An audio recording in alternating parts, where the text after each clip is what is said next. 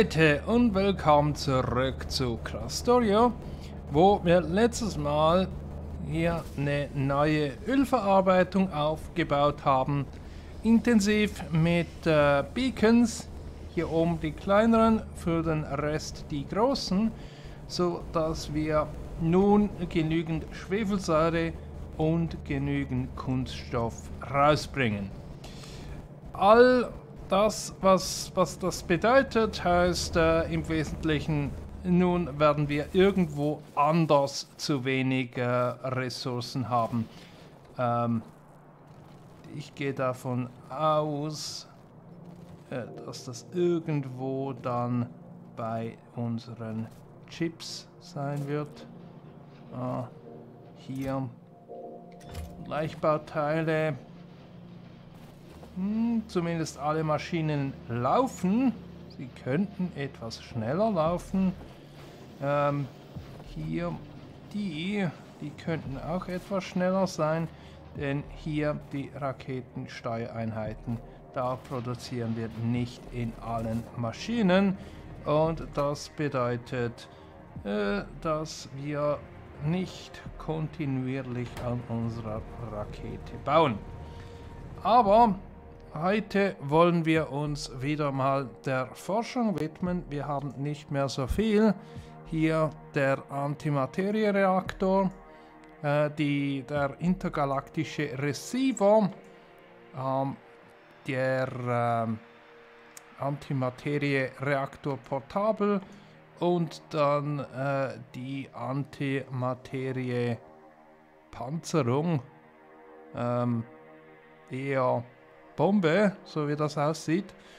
Ähm, das werden wir durchforschen und der ganze Rest, der da hier oben noch übrig bleibt, das ist die unendliche Forschung.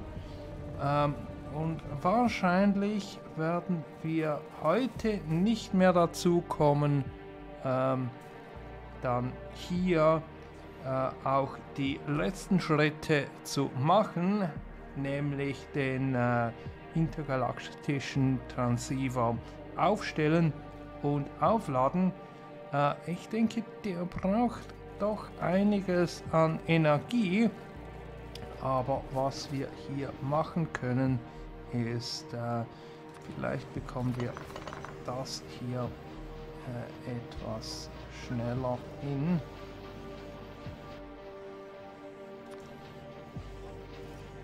Hm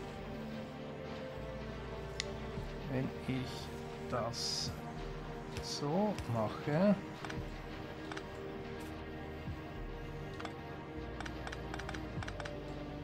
hm.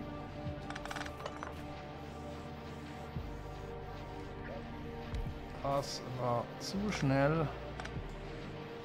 Wenn wir die einfach mal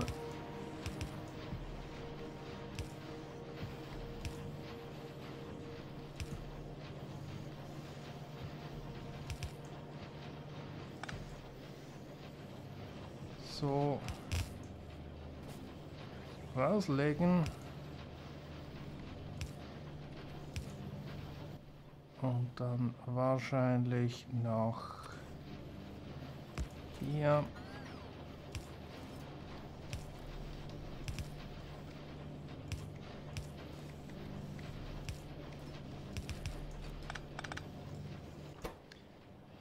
Ähm und jetzt. Jetzt bekommen wir die hier näher ran. Und das ist gut, denn die haben ein Tempo von äh, plus 75 und hier nur plus 50. Also das heißt, hier bekommen wir etwas mehr raus ähm, als bei den anderen. Und wenn wir jetzt äh, hier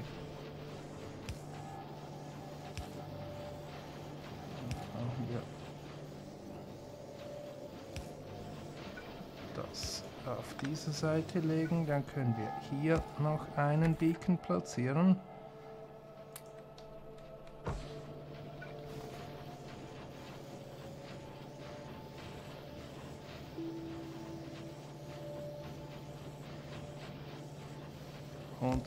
Oben auch noch einen. Das heißt, all diese Maschinen und dann gleich schnell. Und vielleicht brauchen wir da dann statt gelben blaue Greifarme. Gut, das ist das optimiert. Stellt sich die Frage, ob das genug war.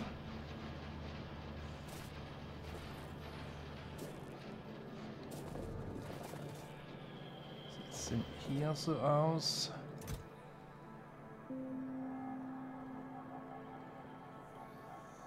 Das geht nicht wirklich rauf. Ja, vielleicht ganz leicht rauf. Da könnten wir natürlich auch mehr rausholen. Wenn wir die mal so versetzen, auf der Seite Platz bekommen. Dass wir hier dann mit Untergrundbändern arbeiten können.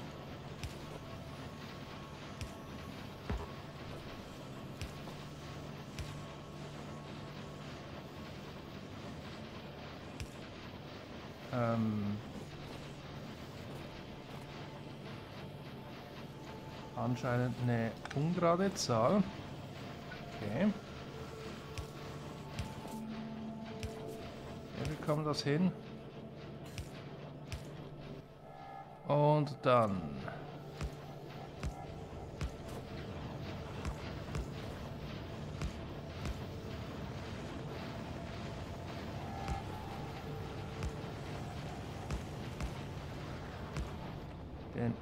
Jetzt haben wir von außen die großen und von innen haben wir nochmals die, äh, die kleinen.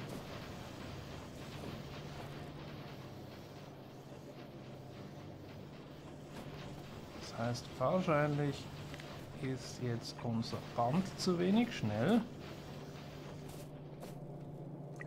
Das lässt sich beheben.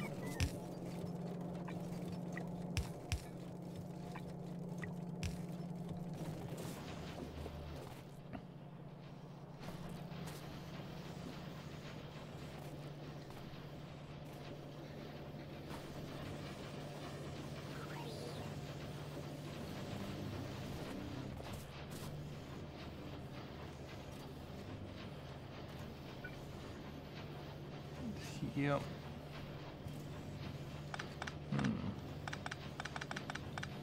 Was ist, wenn wir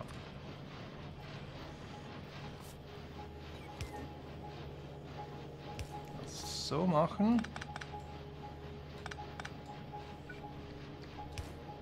Das so machen und dann eins, zwei,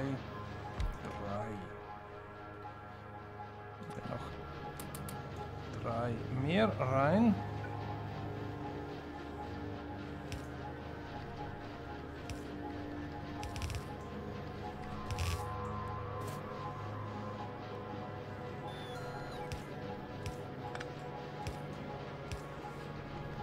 Und dann hier ran.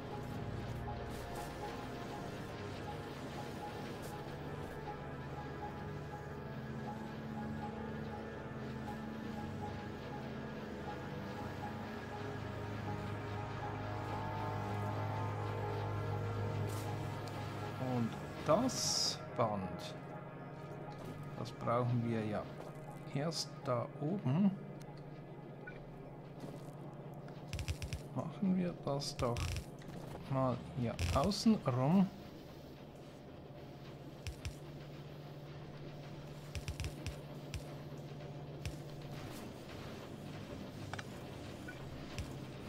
So, können wir das hier abbauen. Und Untergrund Untergrund. Und, ihr wisst es, kleine Beacons.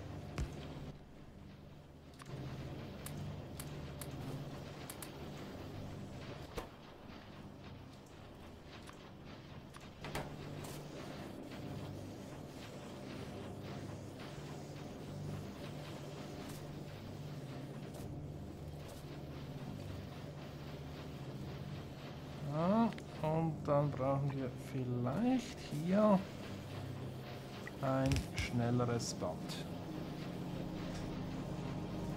Und dann laufen auch all die.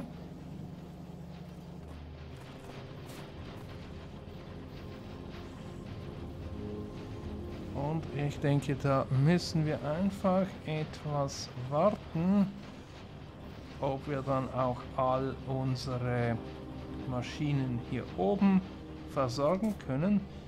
Denn äh, zumindest so wie ich das ursprünglich mal geplant habe, sollte sich das wunderbar ausgehen. Aber ja, äh, zumindest laufen mehr Maschinen als auch schon. Die Frage ist, laufen sie durchgängig? Drei Maschinen, die oben nicht versorgt werden. Aber es sieht zumindest aus, als ob dies die einzigen drei sind, die nicht genügend äh, von den Tempomodulen bekommen. Sieht es denn hier aus? Da sind wir voll.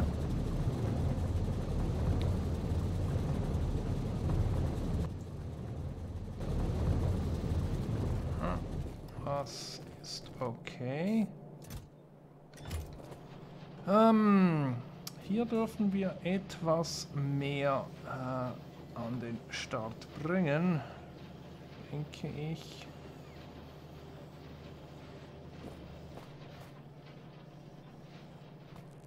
Zu wenig Kunststoff. Ja, dann beschleunigen wir doch einfach mal das Band.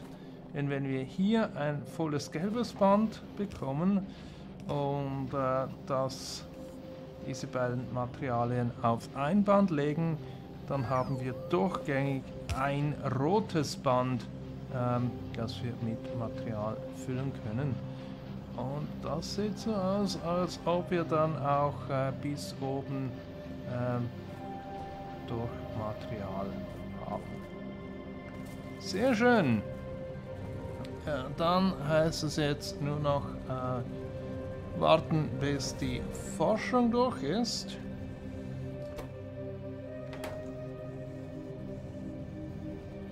Eine hier die Greifarme sind kontinuierlich am Greifen. Natürlich könnten sie schneller greifen, ähm, aber äh, hier, diese Kiste ist auch voll.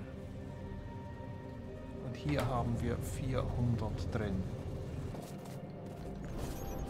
Wahrscheinlich hier unten, ja, da sind wir auch fast voll.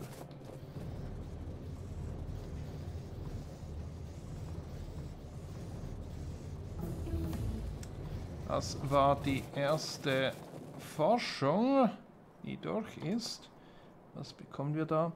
Einen Antimaterie-Reaktor. Ähm, ich suche mir da mal eine Maschine, wo ich das bauen kann. Antimaterie-Reaktor.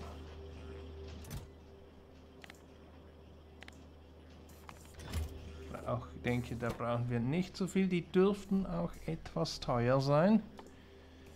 Und äh, eine Antimaterie-Brennstoffzelle.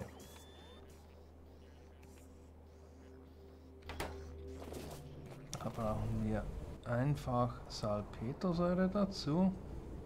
A für die Leere und die müssen wir dann in einer Materie-Montagemaschine aufladen und dafür brauchen wir Materie. Okay, so funktioniert das. Ähm, wo haben wir Salpetersäure? Wir haben nicht allzu viel Salpetersäure. Äh, das liegt daran, dass die nicht allzu schnell sind.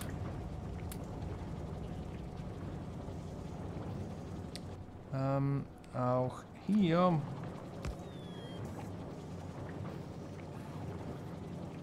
können wir noch Beacons platzieren.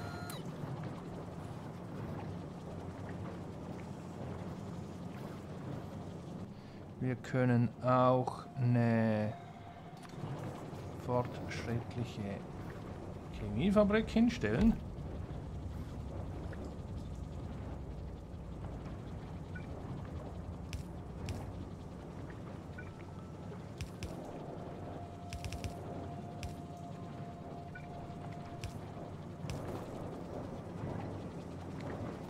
Ähm, müssen wir einfach noch schauen, wie wir dann das Material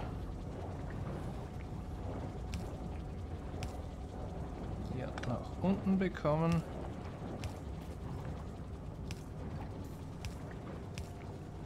So könnte das durchaus funktionieren.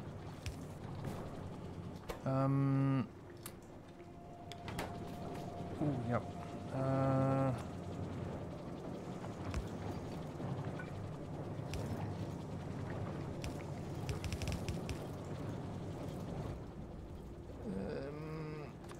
reicht uns da ein schneller Greifarm?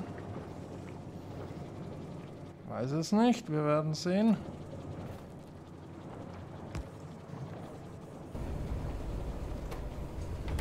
Ah, und dann natürlich 1, 2, 1, 2, 1, 2. Das Geschwindigkeit.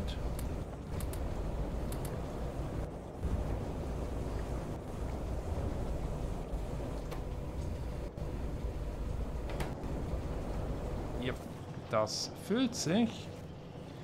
Das heißt, machen wir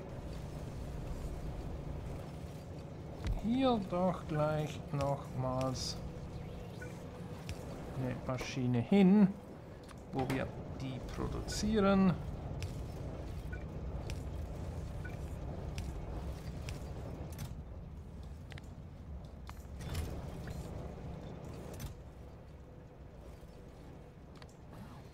Davon haben wir wahrscheinlich immer zu wenig.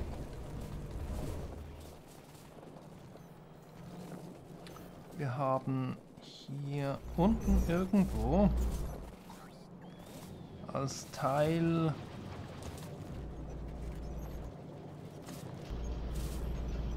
von irgendeiner Forschung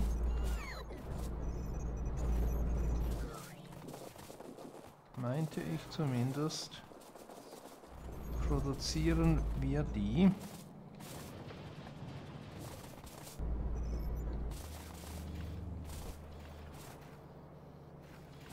Ja, hier. Und wenn da am Schluss etwas übrig bleibt, dann ziehen wir die ab. Aber, so wie es aussieht, bleibt da nicht viel übrig. Und das Setup, das wir hier brauchen, ist das hier. Ähm, und es bleibt nichts übrig, weil wir zu wenig den hier haben.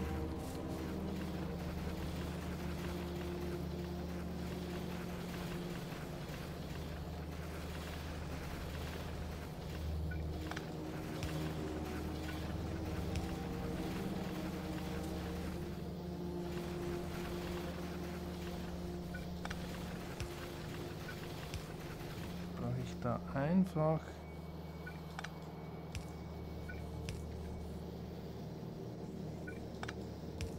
mehr von denen.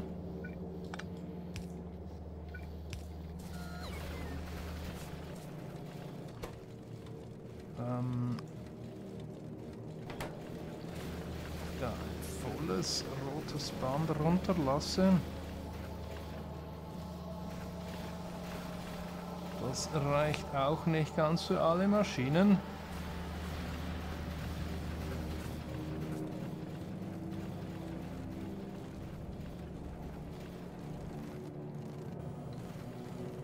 Ah, und hier war ich ja noch dabei, äh, einen das Ganze wieder zu sortieren.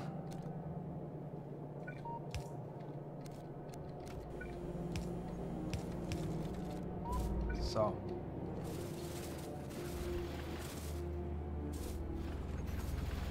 Ich habe fast das Gefühl, ähm, da brauchen wir eine andere Lösung.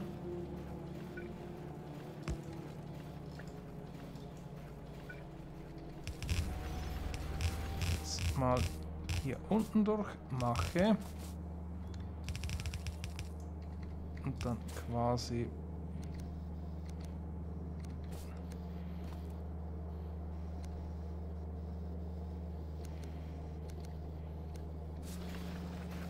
das so umkehre. Dass ich Kupfer von unten und von oben bekomme.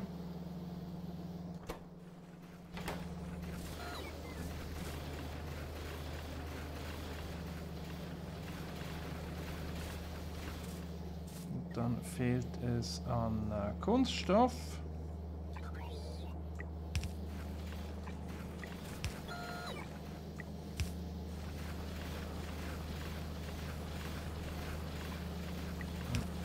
Machen wir das mal auf blau.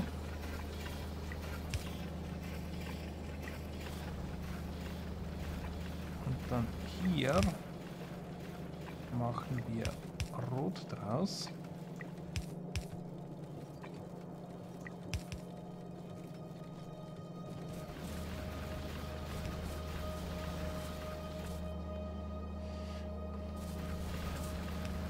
Das sollte helfen, dass wir da etwas mehr rausbekommen.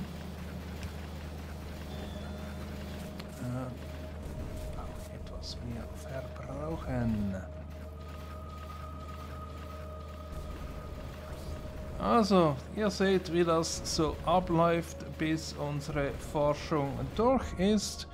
Ähm, das ist eine, eine 3000er, dann hier eine schnelle 500er und noch eine 2500er. Ähm, denke, wir machen heute für hier Schluss und schauen dann nächstes Mal, wie wir unseren intergalaktischen Receiver an den Start bekommen. Also bis dann und tschüss!